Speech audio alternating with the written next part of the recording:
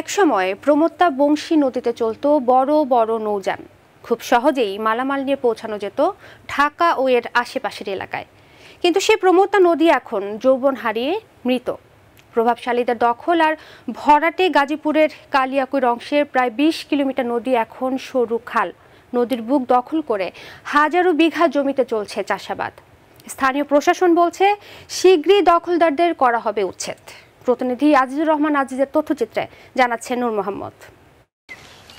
জামালপুর, টাঙ্গাইল, গাজীপুর ও ঢাকা জেলার উপর দিয়ে প্রবাহিত এ নদী একসময়ে বেশ গুরুত্বপূর্ণ ভূমিকা রেখেছে যাতায়াত আর ব্যবসা বাণিজ্যে।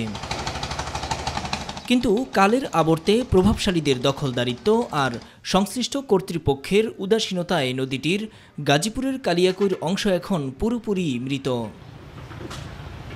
স্থানীয়রা বলছেন একসময়ের প্রমত্তা বংশী এখন শুধুই ইতিহাস। এখানকার উত্তর হিজলতলি থেকে ঢাকার ধামরাই পর্যন্ত প্রায় বিশ কিলোমিটার নদী এখন পরিণত হয়েছে মরা খালে। অনেক জায়গায় দেয়া হয়েছে বাঁধ। আমরা ছোটবেলা দেখছি অনেক গহীন মানে ইপার হাতরে সাঁতরে যে যে মানে ই হয় নাই সাহস হয় নাই। এটা খরস্রোতা নদী আছিল বড় বড় পালতোলা নৌকা চলছে। আগে এখানে বড় বড় নৌকা চলতো লঞ্চ চলতো দামরাই গেত।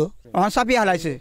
পানি নাই কিছু নাই অহন একবার ভরে হালাইছে। একদিকে যে যার মতো ভরাট করে নদীর জায়গায় নির্মাণ করেছেন বাড়িঘর সহ নানা স্থাপনা অন্যদিকে মাটি কেটে নিয়ে প্রভাবশালীরা বিক্রি করছেন ইটভাটায়। এই নদী থাকলে বড় নৌকা চালাতে পারছি এবং মাছ মুছ মারছি এখন এই ইট খোলায় কাজ করে খেতে হইতেছে রোয়া রোয়া চলে না মেশিনে পানি দেওয়ার দুইবার গেল।